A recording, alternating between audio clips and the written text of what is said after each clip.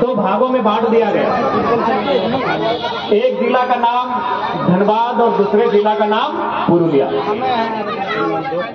आज जब भी पुरुलिया का जिला हो, झारग्राम जिला हो, या बांकुड़ी का बांकुड़ा का जिला हो, आज भी कहीं ना कहीं लगता है कि झारखंड का ही हिस्सा है। तो क्या आप लोग तैयार हैं? क्योंकि फ़िलहाल झारखंड में एक नई आवाज़ आई है। भले आपसे हम बहन लोग से पूछ रहे थे तो आधे से, आधे लोग जान रहे थे हाँ आपको पहचानते हैं, देखे हैं। तो आपको जानकारी होना चाहिए, झारखंड में हम लोग एक जोरदार आंदोलन किए हैं। और उस आंदोलन का परिणाम ये हुआ है कि झारखंड के इतिहास में फ़र्स्ट टाइम कोई लड़का जिसका उम्र उनतीस साल है, उसने लोकसभा के चुनाव में साढ़े तीन लाख वोट लाया है अभी इंडिपेंडेंट झारखंड के इतिहास में पहली बार हुआ है। कि अब नेताओं के सपनों में भूत की कहानी नहीं आती है, राजा रानी की कहानी नहीं आती है, नेताओं के सपने में टाइगर जराम महतो आते हैं। तो इसलिए अगर आप लोग तैयार हैं, यदि टुकड़ा सुबह रेडी थाके तो एक बार फिर से 24 सालों के बाद 24 सालों के बाद जो आवाज़ दब गई थी जिस आवाज़ को शांत किया गया था वो आवाज़ फिर से उठेगी। उस आवाज़ का नाम रहेगा द ग्रेटर झारखंड। आज की युवा पीढ़ी समझ रही है ग्रेटर झारखंड का मतलब क्या है? आज के जय। आजू जे छला ना छला छणारा बटे तुम्हारा बुझते पारी कि ग्रेटर झारखंड माने की? सोनी सोनी बुझे पा रहा? ग्रेटर झारखंड किना है का ग्रेटर झारखंड मतलब जब आज से कई सालों पहले हमनी के बाप दादा झारखंड राज्य के अलग लड़ाई लड़ा थे। और में पश्चिम बंगाल के कुछ हिस्सा, उड़ीसा के कुछ हिस्सा ग्रेटर झारखंड के पार्ट है लेकिन आज दुर्भाग्य की बात है सबसे ज़्यादा आंदोलन पुरुलिया के धरती में मानभूम के मान बाज़ार के धरती में लेकिन वो हिस्सा झारखंड ना बना। तो कहीं ना कहीं दो, दो, आज भी उस पीड़ा के हमने देखे पाओ है। तो तुमने इस बात का आप लोग समर्थन करते हैं कि भविष्य में बृहद झारखंड की बात को एक ऊँचे पटल पर उठाया जाए? ऐसा तो नहीं कि आप लोग को दीदी से प्रेम हो गया है। नहीं क्योंकि अभी आपकी सरकार दीदी है, ममता दीदी है, लेकिन आप याद रखिए, आपका इतिहास झारखंड से रहा है। तो अगर आपको लगे कि नहीं, एक बार वो आवाज़ उठनी चाहिए तो नो डाउट एक बार फिर से वो आवाज़ उठेगी। उस आवाज़ का नाम रहेगा बृहद झारखंड, जो हमारे पूर्वजों की आवाज़ थी। क्योंकि ये खेल का मैदान है, इसलिए राजनीति की बात नहीं करेंगे। खेल। सबसे पहला बात, खेल का मतलब ये होता है मेल। आज खासकर हमारी बहन लोग खेल रहे थे, देखकर बड़ा अच्छा लगा।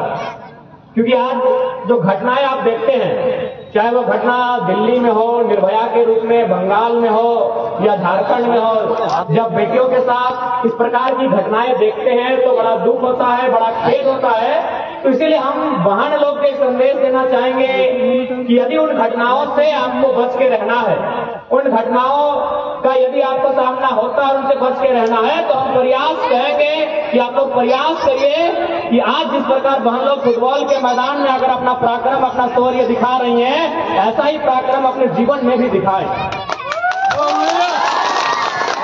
देखिए, आज जो घटनाएँ क्योंकि ये लड़की लोग का मैच था, बहन लोग का मैच था, इसलिए हम थोड़ा सा नारी सुरक्षा पे बात करेंगे। आज जो घटनाएँ घटती हैं नो डाउट उसमें सरकार ही नहीं, हमारे संस्कार की भी दोष है। केवल अगर हम लोग सरकार को दोष देने जाएँगे, सरकार के माथे सारा ठिका फोड़ने जाएँगे तो उचित नहीं होगा। कुछ दोष हमारे संस्कार में भी है। तो बहनों से हम यही संदेश देंगे कि आप लोग भी थोड़ा प्रयास करिए, क्योंकि आज थोड़ा सा बहन लोग भी देखते हैं, मोबाइल की दुनिया में खो गई है इंस्टाग्राम फिल्टर्स की दुनिया में खो गई है। तो आप अब दुनिया से बाहर आइए। आज हमारी बहन लोग चाँद की तरह अपने आप को दिखाना चाहते हैं। देखिए चाँद का सम्मान चकोर से होता है। तो ठीक उसी प्रकार यदि हमारी बहन लोग आप अपने आप को चाँद की तरह दिखाना चाहेंगे तो चोर लोग आपको नज़र उठा के देखेंगे। आप अपने आप को सूरज बनाओ उनकी आँखें भस्म हो जाएँगे। उनकी आँखें स्वतः ही भस्म हो जाएँगी। तो ये संदेश मेरा बहन लोग के लिए होगा। अच्छा लगा कि आप फुटबॉल के मैदान में खेली और हमने सबसे पूछा तो आठवीं क्लास में पढ़ रही है नौवीं क्लास में पढ़ रही है कॉलेज वाली है। तो अच्छा लगा कि यानी आठवीं क्लास यानी चौदह साल, पंद्रह साल, सोलह साल की बहन लोग हैं। तो बड़ा अच्छा लगा कि आप उस दुनिया से बाहर आए हैं, जिस दुनिया को हम लोग मोबाइल कहते हैं। क्योंकि आज हमारी दुनिया मोबाइल हो चुकी है। आज प्राइवेसी के नाम में प्राइवेट के नाम में प्राइवेट के नाम में हम इतने प्राइवेट हो गए हैं कि हमें मालूम ही नहीं कि हमारे गाँव के बगल से होकर कौन सी नदी गुजरती है। हमने ये प्राइवेट प्राइवेट के चक्कर में हमने अपने आप को इतना प्राइवेट कर लिया है कि हमें ये मालूम भी नहीं है कि हमारी फ़सलों का नाम क्या है।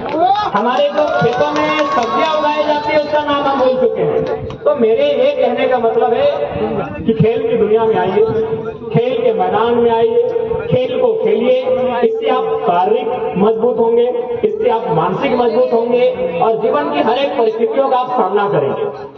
और एक बात तो स्पष्ट कि अगर हम खेलने वाले हैं तो उनको गरीबी छू सकती है। लेकिन याद रखिएगा, बीमारी कभी नहीं छू सकती। जो खेलते हैं ना, उनको गरीबी छू सकते हो गरीब हो सकते हैं। लेकिन वो बीमार नहीं हो सकते।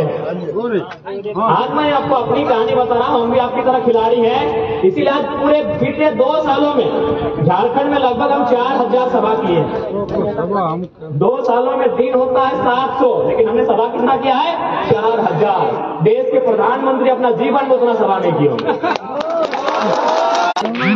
हम दो दिन पहले पश्चिमी सिंहभूम में वहाँ एक दिन में सत्ताईस मीटिंग किया था। सत्ताईस मीटिंग यानी सत्ताईस जगह भाषण दिए थे एक दिन में।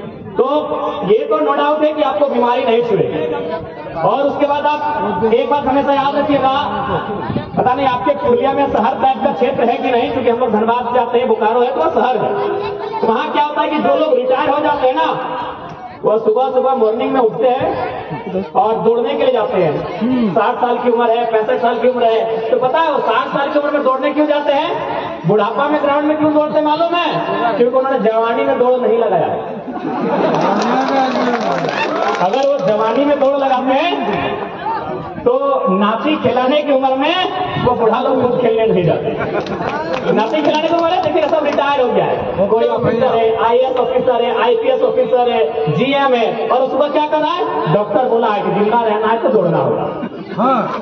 चाहे तो जवानी में नहीं दौड़ा तो ठीक उसी प्रकार अगर आप चाहते हैं कि बुढ़ापा में अपने बच्चों को खिलाएँ बच्चा नहीं बच्चा भी आपका बड़ा हो जाएगा नाती ना अब क्या तुमने नाती बोले ना?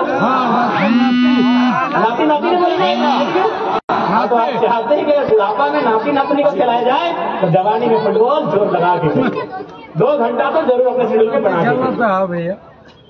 उसके बाद देखिए जो खेल होता है ये मेल करता है। आपने हमें एक ऐसे शख्स का नाम ले रहा हूँ जिनका संबंध भी आपके पश्चिम बंगाल से हालाँकि अभी वो क्षेत्र शायद उड़ीसा हो चुका है। स्वामी विवेकानंद। तुम ये हमारा स्टेटमेंट नहीं है। ये स्टेटमेंट इस देश के एक महापुरुष, जिन्हें संत कहते हैं, और उनके नाम पर 12 जनवरी को भारत देश में युवा दिवस मनाया जाता है। तो क्या कहते थे कि भारत के युवाओं को फुटबॉल खेलना चाहिए? क्यों कहते थे? क्योंकि स्वामी विवेकानंद का जो समय था, वो समय कौन सा था? 1861 से लेके अठारह सौ इक्यानवे बानवे का समय था। यानी उस समय भारत अंग्रेज़ों के अधीन था। और उस समय जाति प्रथा चरम पर थी। एक दूसरी जात के लोग दूसरी जात के लोगों के साथ किसी प्रकार का संबंध नहीं रखते थे। तो विवेकानंद जी ने कहा कि भारत के युवाओं को फुटबॉल खेलना चाहिए, क्योंकि जब वो फुटबॉल खेलेंगे, एक दूसरे से जुड़ेंगे। जैसे मैं आज आपको उदाहरण देते हैं। हालाँकि अभी हम लोग को फैसिलिटी है तो हर एक खिलाड़ी एक एक को जर्सी अपना अलग पहनता है। लेकिन हम लोग जब फुटबॉल खेलते थे ना आपकी उम्र में तो ग्यारह वही जर्सी होता था। बारहवा खिलाड़ी को जब वो बाहर आता था तो उसका जर्सी पहनना पड़ता था। तो सोच के देखिए, अगर जब बारहवा खिलाड़ी बाहर आता है और नया खिलाड़ी जब अंदर आता है, वही जर्सी बनता है। उस जर्सी से बदबू आ रहा है। उस जर्सी से पसीना आ रहा है। लेकिन फिर भी हम उसकी जर्सी को पहनते हैं। अभी अगर आपको कह दिया जाए कि आपकी सगी बहन है और उसने दो दिन से कपड़ा नहीं पहना है, पहनिए, आप बोलेंगे ठीक हम नहीं पहनेंगे। लेकिन फुटबॉल में ये नहीं होता है। आप उस जर्सी को पहनते हो और फिर खेलने जाते हो। इसीलिए विवेकानंद जी ने कहा था युवाओं को फुटबॉल खेलना चाहिए ये आपके बीच जो भेदभाव है, उसको तोड़कर आपको एक जगह लाके जोड़ता। है अभी आप यही जितनी बहन लोग बैठी हैं, एक समाज की नहीं है। हमने परिचय लिया। कोई संथाल बहने हैं तो कोई कुर्मी बहने हैं तो कोई अन्य बहने हैं। लेकिन जब वैवाहिक संबंध होगा तो हमेशा याद रखिएगा, आप अपने समाज को चयन करेंगे। लेकिन क्या आपने यहाँ चयन किया कि हमारे बगल में जो बैठी है, वो हमारे समाज की है कि नहीं है? यही फुटबॉल इसी का नाम खेल है। यहाँ भेदभाव नहीं होता है। यहाँ डिस्क्रिमिनेशन नहीं होता है। तो इसलिए फुटबॉल, खेल आपके जीवन में होना चाहिए। और चूँकि आप गाँव से खेलने के लिए जाती हैं तो बड़ी उम्मीदें होती हैं। गाँव से जब कोई ड्रीम लेकर आप बाहर जाते हैं तो बड़ी उम्मीदें होती हैं। उन उम्मीदों पे खड़ा उतरना भी एक बहुत बड़ा चुनौती होता है। लेकिन याद रखिएगा, चाहे खेल का मैदान हो, या ज़िंदगी का कोई मोड़ हो, अगर आप थ्री को फॉलो करते हैं, यदि आप थ्री को फॉलो करते हैं तो किसी भी मोड़ में आपको कोई भी सक्सेस होने से नहीं रोक सकता है। थ्री का मतलब होता है पहला डी डिटर्मिनेशन डिटर्मिनेशन यानी आपका इरादा। कि आप जो लक्ष्य बनाए हैं उसका, उसके लेकर कितने? दूसरा डी से होता है डेडिकेशन डेडिकेशन यानी अपने आप को झोंक देना। जैसे अभी आप गिरे बगड़े चोट लगा, बारिश में खेले, गर्मी में खेले, ये डेडिकेशन लेवल है आपका डिटर्मिनेशन यानी लक्ष्य को संकल्प के रूप में लेना। और डेडिकेशन यानी उस लक्ष्य को लेकर अपने आप को झोंक देना। लेकिन अंत में जो सबसे इंपॉर्टेंट होता है, उसे डिसिप्लिन कहते हैं। डिटर्मिनेशन डेडिकेशन डिसिप्लिन अगर ये चीज़ें आप में होंगी तो नो डाउट आप अपने आप को बेहतर करके जाओगे। और जहाँ तक फुटबॉल खिलाड़ी का सवाल है, हमारे झारखंड के विनोद बाबू, वो क्या करते थे, हमने तो सुना नहीं है, उनके साथी सुनाते हैं। कि फुटबॉल के खिलाड़ी में चार एस का क्वालिटी होना चाहिए। पहला एस होता है स्ट्रेंथ स्ट्रेंथ यानी ताकत। लेकिन फुटबॉल के खिलाड़ी है तो ताकत होना चाहिए तो आपका बगल वाला को धक्का मार के चल जाएगा। फुटबॉल के खिलाड़ी हैं तो एस का पहला क्वालिटी स्ट्रेंथ अगर आपको ऊर्जा नहीं है, ताकत नहीं है तो फुटबॉल का खेल आपके लिए नहीं है, आपको ताकत होना होगा। दूसरी एस से होता है स्पीड अगर आप में स्पीड नहीं है तो दूसरा आपका बॉल को लेकर आपसे आगे निकल जाएगा। स्ट्रेंथ स्पीड तीसरा एस से होता है स्टीमना स्टीमना का मतलब आपको 90 मिनट 40 मिनट 60 मिनट खेलना पड़ता है। बहुत सारे खिलाड़ी पाँच मिनट मैदान में उतरे दो बार कॉर्नर के दाएँ से बाएँ आए बोला हमसे नहीं होगा स्ट्रेंथ स्पीड स्टीमिना और सबसे इंपॉर्टेंट स्किल आज बहनों ने भी बहुत सुंदर स्किल बोलते स्किल का तात्पर्य क्या है? कि आपके पास स्ट्रेंथ है ताकत है आप आपके पास स्पीड भी अपने बड़ी गति के साथ गेम को लेकर चला गए चले गए डिवॉक्स में। आपकी स्टीमिना भी आपकी दौड़ भी अच्छी है। लेकिन अगर स्किल नहीं है और अंतिम समय जहाँ आपको स्कोर करना चाहिए था आप डिबॉक्स के महार या गोली के हाथ में दे बैठे तो फिर वो तीन है की क्वालिटी वो काम नहीं आएगी। इसीलिए strength speed stamina and skill अगर ये चार एस की क्वालिटी है तो आप फुटबॉल के बेहतर खिलाड़ी हो। तो सब में है ना? ए आठवीं क्लास आठवीं क्लास हाँ भैया नाइन वाला सब किधर है? नाइन हमारे सर बचपन में हम लोग आगे बताते थे कि एट यानी फाइव यानी अगर आप एट क्लास में आ गया तो आपका एनर्जी लेवल फाइव के लेवल का होना चाहिए।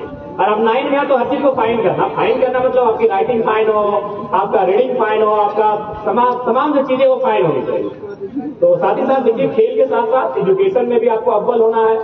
क्योंकि आज जिस दौर से हम लोग गुजर रहे हैं, हमें विकल्प लेके चलना पड़ता है। हम और आप मिडिल क्लास फैमिली से हैं, इस बात को भी हमें देखना पड़ता है। हमारी माता पिता बड़ी उम्मीदों के साथ हमें हमारे लिए व्यवस्थाओं का जुगाड़ करते हैं इन चीज़ों को हमें समझना पड़ता है। इसलिए आप खेलें दम लगाकर खेलें साथ ही साथ अपने आप को एजुकेशन के क्षेत्र में भी कभी कम नहीं करें। और ज़्यादा समय ना लेंगे क्योंकि पुरस्कार वितरण भी होना है। जहाँ तक खेल का प्रश्न है खेल बहुत सीख दे के हमें जाता है। अगर आप फुटबॉल की बात करें तो मैं आपको फुटबॉल का एक किस्सा सुना रहा हूँ। आज के डेट के तो बच्चे नेमार को जानते हैं। देखिए बहन लोग भी नेमार बापे की दस्ती बनी है। भैया। नेमार को आप जानते हैं बापे को जानते हैं रोनाल्डो को जानते हैं। आप पेले को जानते हैं? Do you know about Pele तुमरा पेले के चीनी? पेले जो क्रिकेट में स्थान सचिन तेंदुलकर का है। हॉकी में जो स्थान मेजर ध्यानचंद का है। फ़िल्म इंडस्ट्री में जो स्थान अमिताभ बच्चन का है वही स्थान फुटबॉल की दुनिया में पेले का। पेले की एक घटना थी। वो तीसरी क्लास में पढ़ते थे। जब वो चौथी क्लास में चले गए तो उनको स्कूल से निकाल दिया गया। निकालने के दो कारण थे। पहला कारण था कि वो स्कूल की फ़ी नहीं भर पाते थे और दूसरा कारण था उस समय जो अमेरिकन कंट्रीज़ थे अफ्रीकन कंट्री थे वहाँ रंग को लेकर बहुत भेदभाव होता था। हमारे देश में हमारे देश में रंग को लेकर नहीं, हमारे देश में कास्ट को लेकर भेदभाव रहा। तो पहले ने क्या किया? स्कूल को छोड़ा और फुटबॉल की दुनिया में इतना मेहनत किया, इतना मेहनत किया कि आज जब तक दुनिया रहेगी, तब तक फुटबॉल रहेगा और पहले का नाम स्वर्णिम अक्षरों में रहेगा। तो आपकी जीत आपको तय करती है कि आप कहाँ तक जो शख्स स्कूल से ड्रॉप ड्रॉप आउट कर दिया गया था। आज वह हज़ारों स्कूलों में चीफ गेस्ट बन के जाता। है क्योंकि उसका समर्पण था उसका जिद था। और विश्वास कीजिए आप जिस उम्र में हो आप कुछ भी कर सकते हो। आप जिस उम्र में हो ना आप कुछ भी कर सकते हो। आप आठवीं क्लास में हो आप नौवीं क्लास में हो यानी आप चौदह साल के हो आप पंद्रह साल के हो आप सोलह साल के हो। इस उम्र में अगर आप क्रॉस कर जाते हैं तो फिर हमें लगता है कि बैक नहीं होगा। इसलिए आपको जो भी करना है, अपने टारगेट को यहीं से फुलफिल करना होगा, अपने टारगेट को यहीं से निर्धारित करना होगा और उसकी ओर बढ़ना होगा। मैं आपने नेपोलियन बोनापार्ट का नाम सुना है? नेपोलियन बोनापार्ट ए, अगली क्लास जर्सी नंबर दो। नेपोलियन बोनापार्ट का नाम सुनिए। नेपोलियन बोनापार्ट जिस प्रकार भारत देश में जो स्थान सरदार वल्लभ भाई पटेल का है। भारत देश को एक करने में किनका योगदान है? सरदार वल्लभ भाई पटेल। लोग पुरुष वल्लभ भाई पटेल उनको आपने पढ़ा है। वही स्थान नेपोलियन बोनापार्ट का अपने देश फ्रांस के लिए। लेकिन ये कहानी उनके सेना की नहीं और उनकी लड़ाई की नहीं, ये कहानी उनके बचपन की है। नेपोलियन बोनापार्ट जिस प्रकार आप फुटबॉल खिलाड़ी बनना चाहते हैं तो फुटबॉल से आपको प्रेम होता है। आप फुटबॉल के साथ सोते हो, फुटबॉल के साथ घूमते हो। आपके बिस्तर में फुटबॉल होता है, आपके तकिए के नीचे खेल का सामान होता है। तो नेपोलियन बोनापार्ट को बचपन से ख्वाहिश थी कि हम उस देश का एक दिन सेनापति बने, राजा बने। तो बचपन से हुआ एक छोटा सा छुरी लेकर अपने जेब में घूमते थे। तो एक दिन उनकी माँ उन्हें लेकर एक ज्योतिष के पास गई। आप क्यों ना बुझते पारी ज्योतिष माने की? ज्योतिष माने घोनौर যে আমাদের হস্তটা দেখে পরে ভবিষ্যবাণী করে কি তোমার তোমাদের ছেলেটা ই বনবে কি বনবে তুমি মাস্টার তুমি ডক্টর তুমি इंजीनियर तो नेपोलियन बोनापार्ट की माँ उनको लेकर एक ज्योतिष के पास गई और उस ज्योतिष से नेपोलियन बोनापार्ट के हाथ को देखने के लिए कहा कि इनके हाथ को देख के बताइए इनका भविष्य क्या होगा उस ज्योतिष ने उनके हाथ को देखा ऐसे पलटा ऐसे पलटा दाएं बाएं किया और बोला इसका लाइफ बड़ी खराब होगा इसका लाइफ बड़ी चौपट है। याद है जीवन हमें दो में संकट बोला आप ऐसा क्यों बोल रहे हैं महाराज? बोला आपकी हाथ की जो लकीरें हैं, वो ऐसे हैं, इसीलिए ऐसा ही होगा। तो नेपोलियन बोनापार्ट उनकी उम्र आपके ही जैसा था आठवीं तुम्हारी जैसा, उसका उम्र था। तो कहा, अगर मेरे हाथ में लकीरें नहीं होती तो क्या होता? बोला, ये तो विधि का विधान है। तुम्हारे हाथ में लकीरें हैं मतलब हैं। बोला अगर नहीं होता तो क्या होता? बोला नहीं होता तो अलग बात है लेकिन अभी लकीर है तो है ये विधि का विधान है। नेपोलियन बोनापार्ट ने मिनट का भी समय नहीं गवाया जो छोटा सा छुरा वो यहाँ खो- लगा लगा के रखते थे उसको निकाला अपने हाथ में यहाँ रखा एक बार ऊपर से और एक बार नीचे से और कहा मेरे हाथ की लकीरें ही नहीं है। मेरे हाथ में लकीरें ही नहीं है। उस ज्योतिष ने कहा कि जिस नौजवान में नौजवान एक लड़का लड़की दोनों। जिस युवा में इतना जिद हो इतना जुनून हो वो काल के कपाल में लिखे को टाल सकता है। आप उसी उम्र में इसीलिए कोई एक्सक्यूज नहीं कोई बहाना नहीं कि ये काम हमसे नहीं होगा। ये टफ है ये थोड़ा हार्ड है ये मत कहिएगा कि मेरी किस्मत में तुम नहीं शायद ये किस्मत की बात उस दिन क्या करते हैं? जो शेरदिल होते हैं वो अपनी किस्मत अपने हाथों से बनाते हैं। आप उम्र के उस पड़ाव में हो जहाँ आपकी ज़ुबान से किस्मत की बातें अच्छी नहीं लगेगी। तो इसलिए आज हमारा आपको यही संदेश होगा और अंत में यही कहेंगे दोनों टीमें खेल में बहुत अच्छा खेली। हार जीत तो हिस्सा है। अगला हिस्सा है कि हार हाँ के हिस्सा पार्ट ऑफ़ गेम तो दुख माने के ना है जे जीती गेला अपने के बधाई और जे हारी गेला अपने के आगू बचल खातिर बधाई। हाँ। अच्छा जितला के तनी हाथ करा करा। टोनी जितला। पूरा टीम पूरा टीम लेकिन अखनी तो जूनियर देखा तो बड़ो दीदी के लिए टोनी के गिफ्ट कर दो कि टोनी दी। अच्छा, जूनियर क्लास दिया ना आठवां क्लास है आठवां क्लास में पढ़ो अच्छा तो और तोर बाटे आठवां क्लास हो। तो जो बांग्ला कहीं बांग्ला।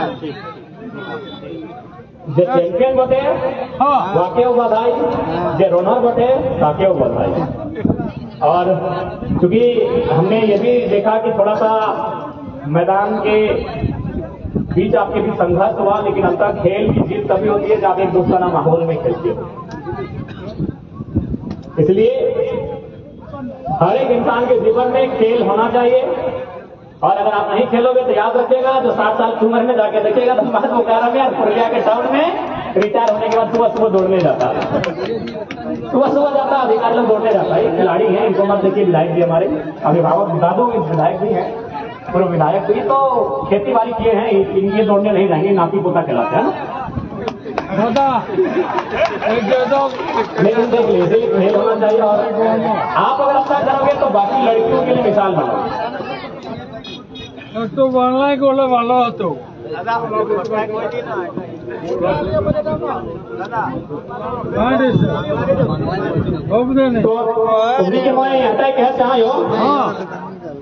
খুব ভালো খেললা আর আগো খুব ভালো খেলিয়া আর সাথে সাথ ইয়া যে মানুষ গেলা হাকতেন দমে ভালো মানুষ আসলে বঙ্গালে কহল গেলায় মায় মাটি আর মানুষ তো এদিকে যে মানুষ ভালো ভালো মানুষ কি? আমরা বহি তা রাত খেললা তো এখন মতলব তো বুঝে পারি ভালো মানুষ তবে তো খেললা।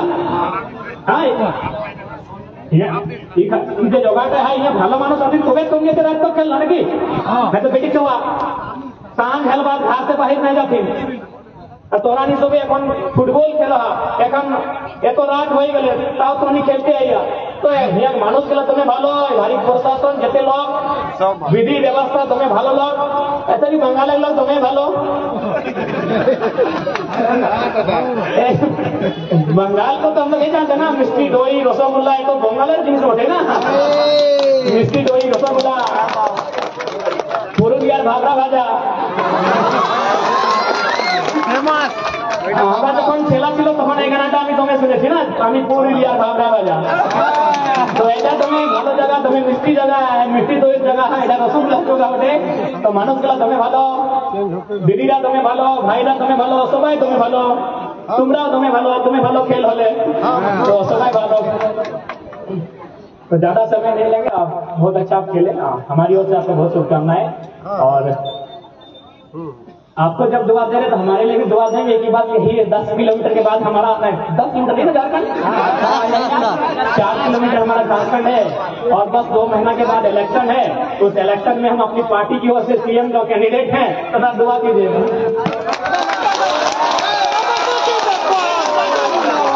हमें दुआ कीजिएगा जब अगली बार हम बंगाल की धरती में आए तो या तो अपना जो भी हो दुआ कीजिएगा। और निश्चित है आपके जो हाँ बंगाल का तो हम ज़िले बोले ये जो चार जिला है पुरुलिया बांकुड़ा झारग्राम मेदिनीपुर चारों जिला के लिए हम आवाज़ उठाएँगे। ये झारखंड का पार्ट है। क्योंकि सच्चाई है ना गुरु जी सबसे ज़्यादा जो शहादत हुआ है ये मानभूम में हुआ है। पुरुलिया में हुआ। सबसे ज़्यादा जो शहादत हुआ है, अलग झारखंड के टाइम हुआ इसी पुरुलिया में हुआ है, मान बाज़ार में हुआ है, बड़ा बाज़ार में हुआ है, सबसे ज़्यादा, लेकिन उसको कुछ नहीं मिला। जहाँ सबसे ज़्यादा संघर्ष हुआ है, उसे आज कुछ नहीं मिला है, इसलिए आप जब भी हम लोग सदन तक जाएँगे, उस सदन में इस बात को रखेंगे कि बंगाल के इस हिस्से को ग्रेटर झारखंड में मिला जाए। है बाकी आप सभी को बहुत बहुत शुभकामनाएँ आपके फ्यूचर के लिए। और अंत में एक सुंदर सी पंक्ति थी उसी से विदाई लेंगे। कि जीत पक्की है, कुछ करना है तो डटकर चल। जीत पक्की है, कुछ करना है तो डटकर चल। जमाने से जरा हटकर चल। लीग पर तो सभी चलते हैं, कभी इतिहास बदल कर चल। बिना काम के मुकाम कैसा, बिना मेहनत के दाम कैसा? बिना काम के मुकाम कैसा बिना मेहनत के दाम कैसा? और जब तक ना मिले मंजिल कर अपने कर्मों से तू प्यार कर मिलेगी मंजिल तेरी ना किसी का इंतज़ार। सोच मत साकार कर अपने कर्मों से तू प्यार कर मिलेगी मंजिल तेरी ना किसी का इंतज़ार कर। जो चले थे अकेले जो चले थे अकेले, आज उनके पीछे मेले हैं। और जो रह गए इंतज़ार करते करते, उनकी ज़िंदगी में आज भी झमेले हैं। कुछ बनना चाहते हो, कुछ करना चाहते हो, अपनी पहचान अलग बनाओ। भीड़ के साथ चलोगे, भले भीड़ में तो डर नहीं लगेगा, लेकिन पहचान भी नहीं मिलेगी। झारखंड ने अपना लीग अलग बनाया, मालूम है ना? झारखंड के विधायक, सांसद, मंत्री भाषण देते स्टेज में। हम कहाँ से देते मालूम है? स्टैचू के देते हैं। इंस्टाग्राम पे हमारा वीडियो मिल जाएगा देख लीजिएगा। टाइगर मेरा उन्नीस सौ बत्तीस। भैया। अपना पहचान अलग बनाओ। नेता लोग भाषण कहाँ करते हैं? स्टेज से और हम स्टेज के आगे स्कॉर्पियो खड़ा करते हैं चार कदम पीछे जाते हैं और छलांग लगा के स्कॉर्पियो पे उसके बाद कमर पे अपना गमछा बांधते हैं और फिर टाइगर के साथ खड़ा होकर अपने बातों को रखते हैं। तो अपनी पहचान अपने बाकी समय याद नहीं है, खेल का मैदान है। बाकी सबको बहुत बहुत शुभकामनाएँ बहुत बहुत धन्यवाद।